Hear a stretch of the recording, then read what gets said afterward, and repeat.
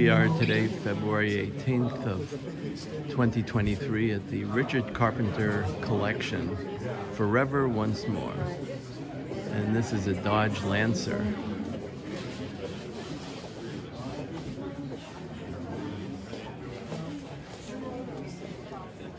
Interior looks lovely.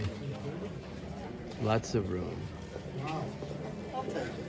wraparound rear win window and fins. So this this is the big expanse of his warehouse museum. This is an overview.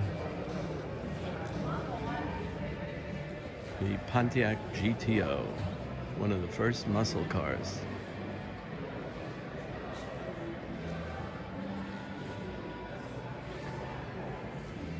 And the Plymouth Prowler. 57 Thunderbird and the Lincoln Continental behind it. A beautiful Chrysler Imperial. Nice script.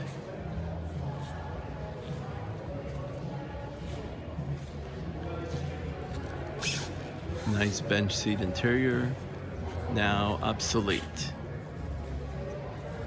And again, fins with little rocket exhaust ports for taillights. The DeSoto Adventurer.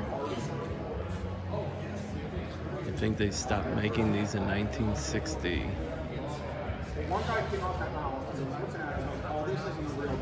Fifty-five Thunderbird.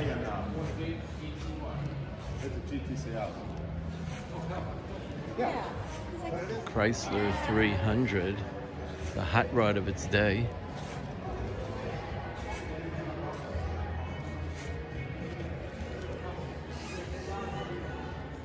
The Mark III Lincoln Continental, personalized license plate Carpenter.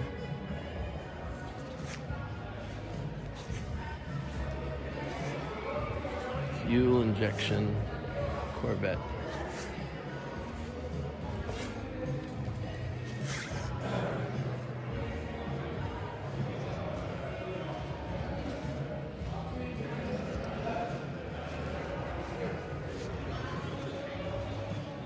More personalized plates for his singing career.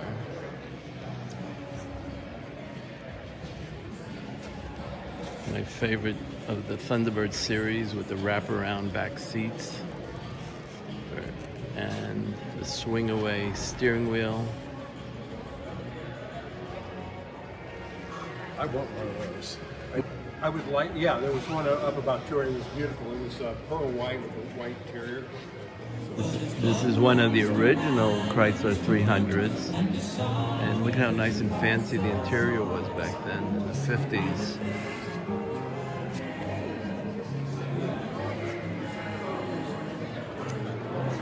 Original Dodge Challenger and they're making uh, new cars that look like this but this is the original. I think it was called Plum Crazy as the color. 446 pack.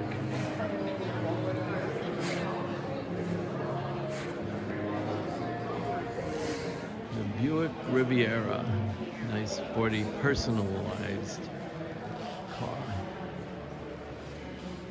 the AC Ace turned into a Shelby Cobra.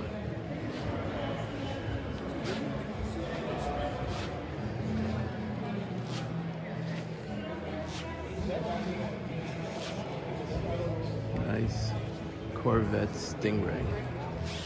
Here's some nice radical Dodge fins. Now obsolete but gorgeous in its day.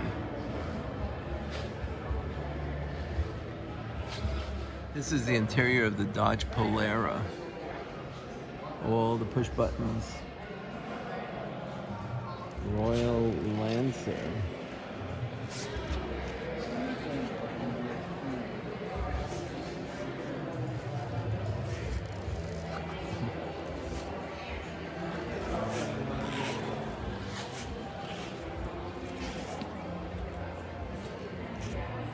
So all the Chrysler products very well designed, as well as beautiful, uh, sharp interiors.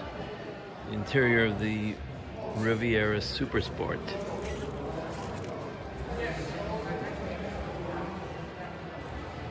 Huge Chrysler 300.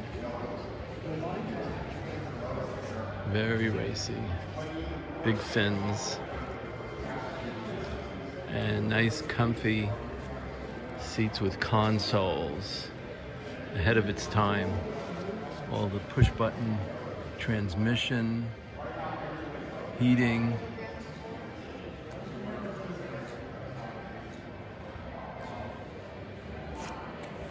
Beautifully done for the Continental kit on the trunk of the car.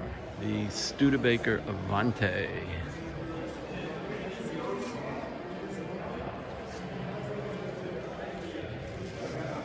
This was made by Ray Loewy to save the Studebaker company back in the 60s. This car was a success. It didn't save the company, but then it went on to several other uh, owners building Avanti 2, continuation model for many decades.